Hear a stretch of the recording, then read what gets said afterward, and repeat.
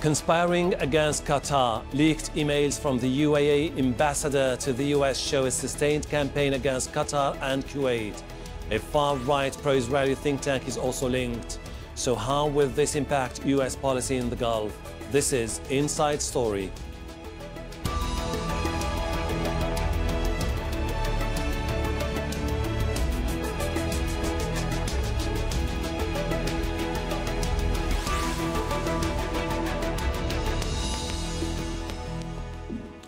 Hello and welcome to the program. I'm Hashem Al It's been a week of tension in the Arabian Gulf. Last week, Qatar's official news agency was hacked. Then, fake remarks critical of US foreign policy were posted on its website and wrongly attributed to Qatar's leader. Now, a series of emails belonging to the UAE's ambassador to the US have been leaked. They reveal a close coordination between the diplomat and a pro Israeli think tank in Washington. The emails also show how Ambassador Youssef Al Otaiba and the Foundation for Defense of Democracies lobbied in the US against Qatar and Kuwait. We'll get to our guests in a moment, but first, Patty Culhane has this report from Washington. You wouldn't think the ambassador who works out of the United Arab Emirates Embassy in Washington and a far right pro Israeli think tank housed in this nondescript DC building would have much in common. But thanks to newly hacked emails, we know they were working closely together to undermine Qatar and Kuwait in the eyes of U.S. officials. Uh, Zaid Jilani broke the story. Uh, as far as the contents of the emails, I think a lot of what they show is that there's a very intense level of cooperation between the Emirates government and sort of right-wing neoconservative think tanks uh, close to the Trump administration and close to the Israeli government. In addition to revealing plans to discredit Qatar, the emails highlight past and upcoming attempts to embarrass the country. Former Defense Secretary Robert Gates headlines an event in Washington, D.C., where he raises the idea of moving the U.S. military base from Qatar to the Emirates. In an email exchange with the Emirati ambassador, he's asked to, quote, give them hell. A few hours later, Qatar's official news agency was hacked, and false stories about the country's ruler supporting Iran and Israel were broadcast by Emirati based channels. The emails highlight an agenda for a conference hosted by the Emirati government and the Washington based lobbyist firm, the Foundation for the Defense of Democracies. Qatar, the Muslim Brotherhood, Turkey, and Saudi Arabia are among the items up for discussion at the June 11th meeting. Other emails show a concerted effort to get negative stories about Qatar planted in the U.S. media. And one email from 2013 shows Ambassador Youssef Al Otaiba also lobbied top Republican leaders in the U.S., hoping they would support the coup that ousted Mohamed Morsi in Egypt. The federal law stipulates that people who engage in any lobbying effort uh, that, uh, uh, that includes payment of money, when, when money changes hands, then all of these statements should be made public. And if you look up the open source, you will see that in the year 2014, the UAE was the top uh, uh, uh, payer of, of money with $14 million. Officials at the UAE Embassy in Washington and the FDD refused our request for comment on this story, which lays bare a secret campaign to discredit Qatar and others in the eyes of the Trump administration, the UAE and Qatar disagree on foreign policy in Palestine, Egypt, and many other places. It's now clear just how far the UAE is willing to go to try and make sure the United States sides with them. Patty Culhane, Al Jazeera, Washington.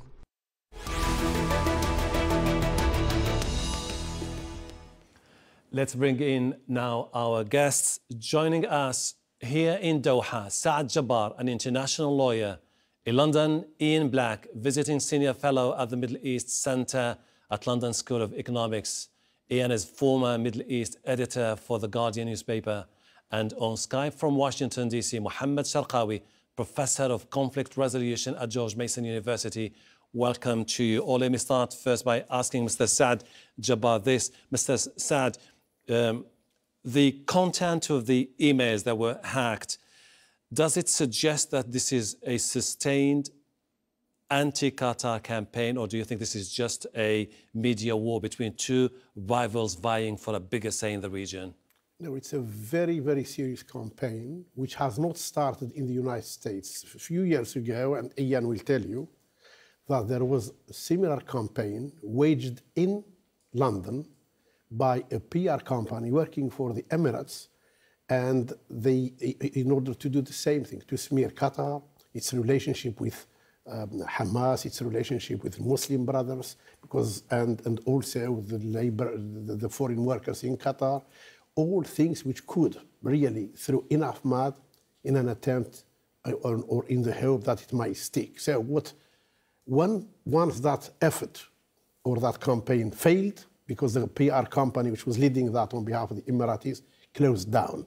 Now, I'm not, I wasn't surprised because it was to some extent well known that the Emiratis and those supporting them relied on certain think tank organizations, certain persons who are, have been discredited. If you look at the individuals, for instance, who have, who have been leading the campaign on behalf of the Qataris, mainly they are new conservatives who have pushed and justified and encouraged the invasion of Iraq without any merit or without any hard evidence to justify that aggression on Iraq. Let me go to Mr. Ian Black. Mr. Black, you've heard what Saad Djebbar has just said.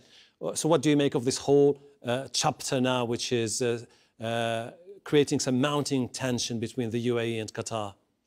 Well, I think that what we have here is we have something that is visible publicly. We have uh, uh, leaks for, uh, to intended clearly to discredit the two parties who are known. Let's let's uh, let's be clear. The Qatar and the United Arab Emirates uh, are on opposite sides of many arguments about the uh, contemporary Middle East. There's no question about that.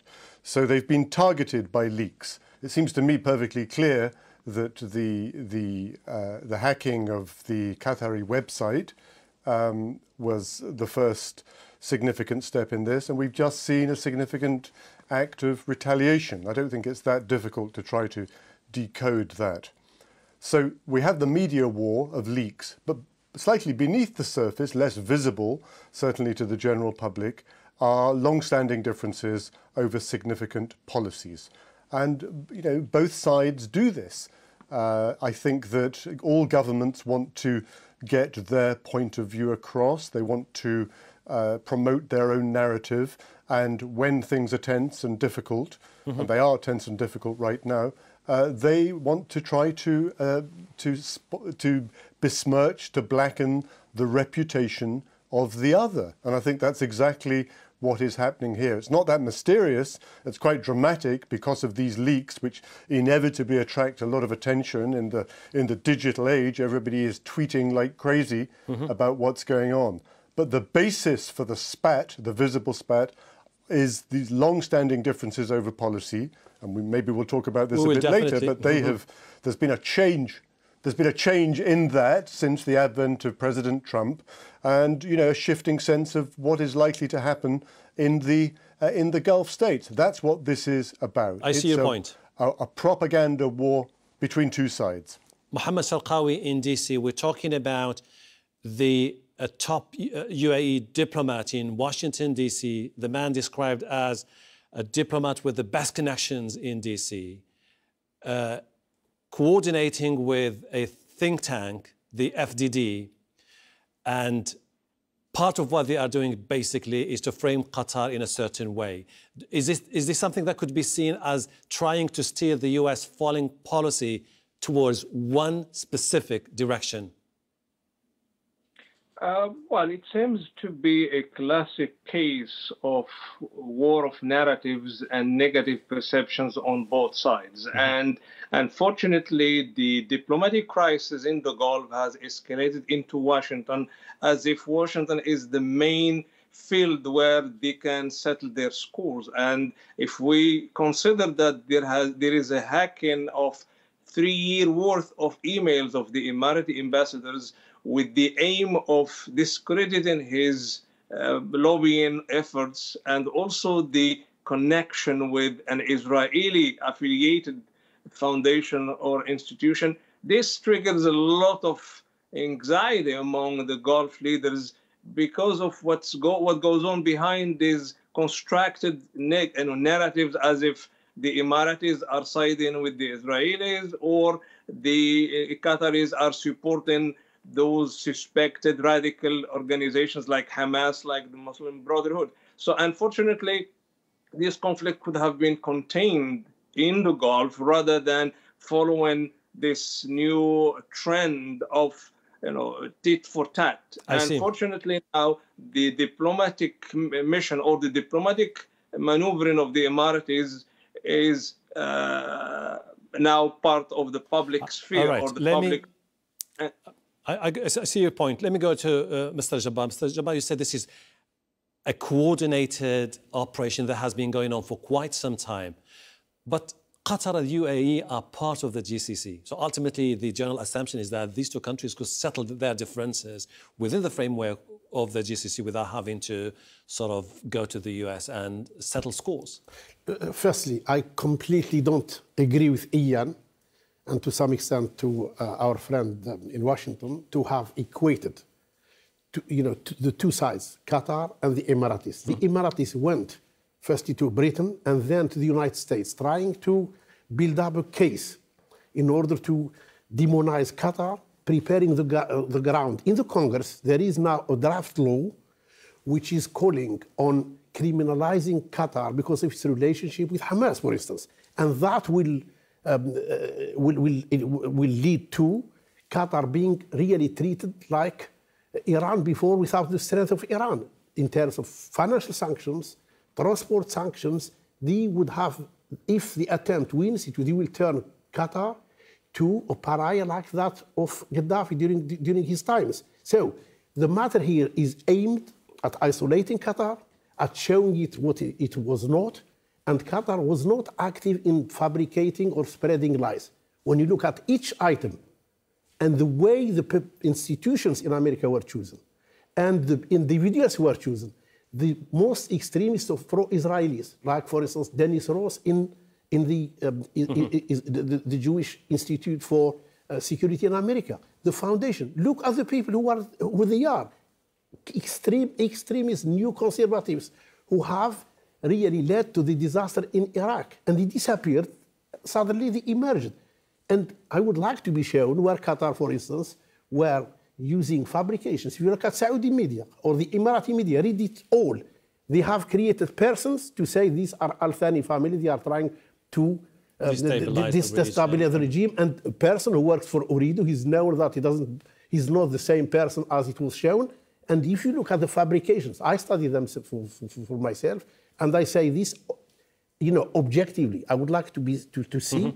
So, it, in appearances, yes, there are rivalries always between the Gulf states, rival tribes. You know, there is nothing new about it. But when the aim is to show that Qatar shouldn't be uh, shouldn't be seen as an ally of the United States and the West, to show it as if it is Al Qaeda, uh, as if it is, you know, uh, to some extent Iran, and the Gulf Council itself was created in order to protect the member states. And to but in the fact, it. Now, it shows that the major partners in that cooperation council obvious. are plotting us and, and, and, and, and against Qatar. All right. And there is no other version to this. Let's take it issue by issue, and let me go now to Mr. Uh, uh, Black in uh, London. Mr. Black, now we've seen th- the content of those emails. In some of those exchanges, the uh, UAE diplomat is asking the Americans to re- consider or to consider relocating the US base from, from Doha to, from Qatar to the UAE, for example, because Qatar is seen as promoting groups like the Muslim Brotherhood and Hamas. Is this something that could potentially have an impact on the US foreign policy? Well, you know, first of all, uh, let me say that I think that the content of the the leaked emails of uh, Ambassador Otaiba are perfectly uh, authentic. I don't think there's no. I haven't heard anybody claim that they're false, and I think myself, give, you know, looking at looking at the region and looking at the issues that are in contention, as Saad has just said, I think that they're perfectly uh, they're perfectly uh, accurate. I don't think they're fake. Um, and I think they give quite a quite a good insight into Emirati thinking. And I agree with uh, uh, Saad Djebbar that what the Emiratis are trying to do. There's no question about that. Uh, will it have any effect on American policy? Is a more difficult question to answer. I think that the context that we need to understand this is that the Emiratis and the Saudis see in the Donald Trump administration, and particularly his uh, policy towards Iran, as an opportunity to change things, to get their own way more in the region. Everybody remembers that both uh, Riyadh and Abu Dhabi were extremely unhappy with President Obama uh, over the Arab Spring mm-hmm. in general, and specifically over his policy towards Iran and the nuclear deal of 2015. And what we see here is the Emiratis trying to seize the opportunity to, uh, to reverse that All because right. of the, the inclinations of the Trump administration in particular. That's what is happening, I think. Let, let me take that to Mohammed Cherkaoui. Mr. Cherkaoui, uh, do you believe the Emiratis are, as Mr. Black uh, saying, are basically trying to take advantage of the fact that there is a new man who takes over in the US with an aggressive narrative towards the, Iran, so and potentially the, the Emiratis see him as a strong ally.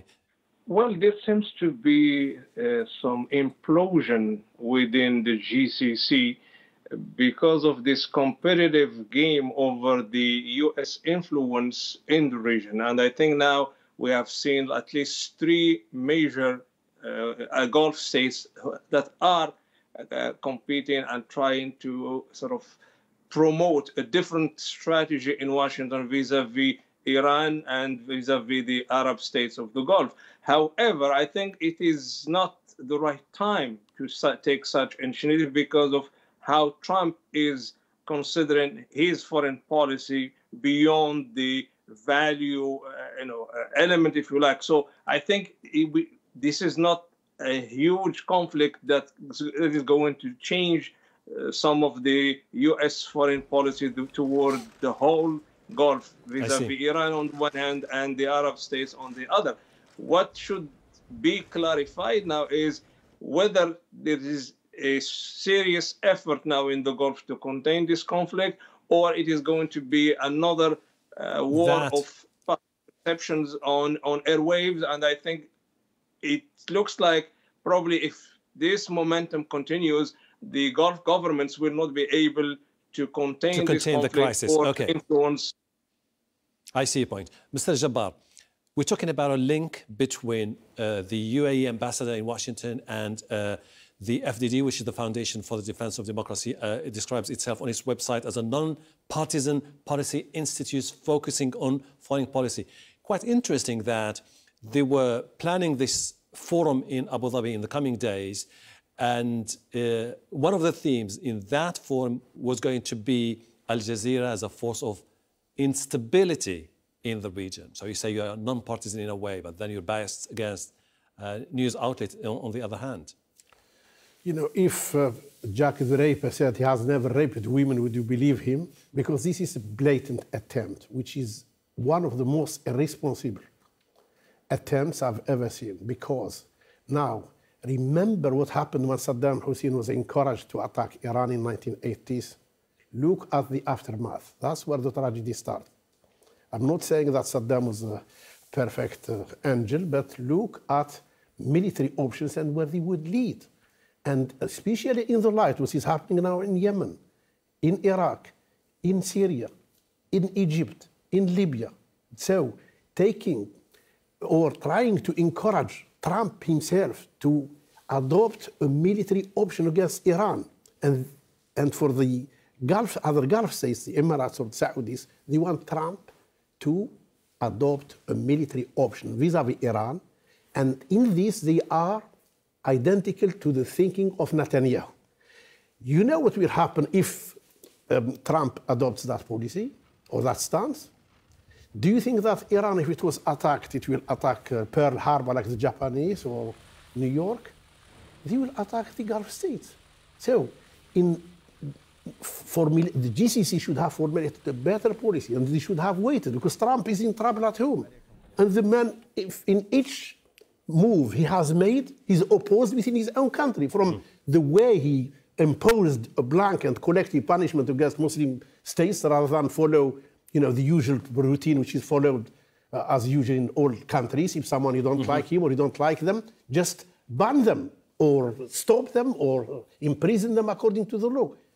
Trump is not himself, he has no safe future. Look at what he has done with the environment. So each step he has made or taken was wrong. So for this, um, the Emiratis are acting in the most irresponsible way to be confrontationalist vis-a-vis their you know, neighbors, their brothers, and, and people who are fellow members of the same, and they are the same, you know, they are linked tribes anyway, okay. especially in the light of what is happening in the region. All right, let me now include Mr. Black. Mr. Black, you've extensively written on international affairs and particularly this part of the world. Now, no doubt, no secret that countries have drifted apart following 2011, particularly this part of the world. Now, there is a new US administration, but don't you think that the US administration on its own will have ultimately to adapt to this situation on the ground and therefore betting on this administration or that one seems a little bit premature at this particular moment? Yeah, I, I, completely agree with you. I think that the, the Saudis and the Emiratis are getting carried away. They're hoping to seize the moment of this new president with his clear views, with key personnel, uh, the defense secretary, the new head of the CIA, who are known to be hawks on the Iranian issue, and they're trying to push strategy in the direction that suits them. I mean, I think everybody got a very vivid reminder of that the other day, two weeks ago, I think, no, at the Riyadh summit, mm-hmm. where Trump made, remember, his first foreign trip as president, and the focus on there was on attacking Iran. And he was attacking Iran and everything that it stood for at a time when the Iranian people had just had a presidential election. Well, how many presidential elections do we see in the Gulf region? I think everybody knows the answer to that.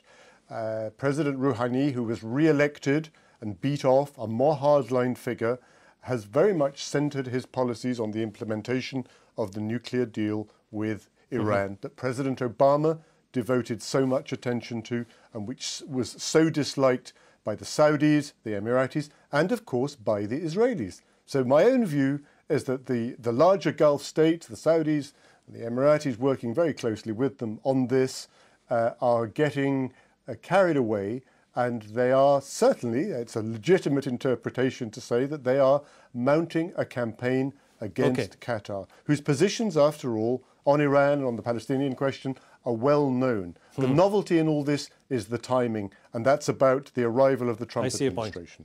Mr. Mohammed Cherkaoui, don't you think that the US should not really be bogged down into tiny issues and that ultimately it has to look into the most uh, challenging issues, particularly they're faced with uh, threats in the region, they're faced with the fight against ISIL, and that therefore that is supposed to be the main focus for the US administration rather than to be dragged into conflicts between uh, countries.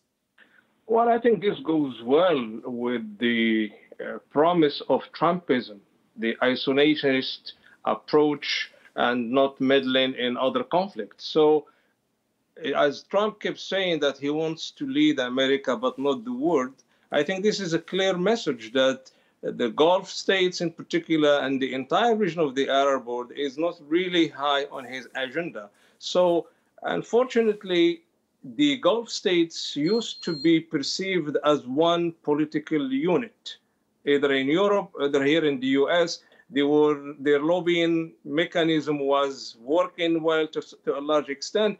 However, this new glitch between three Gulf capitals has introduced a new dilemma whether we, the US will continue its own foreign policy toward, toward the Gulf region as one approach, or this is maybe a time for the uh, Trump administration to go into those details. And I don't think really that there is a serious consideration of these minor differences.